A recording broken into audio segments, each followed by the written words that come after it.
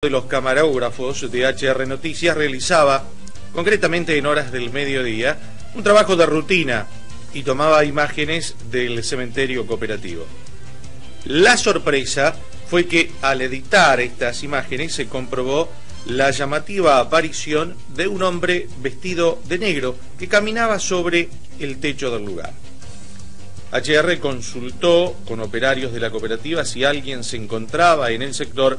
realizando algún tipo de trabajo, a lo cual se respondió que en ese horario era muy difícil que estuviera alguna persona. Y el mismo encargado señaló a este medio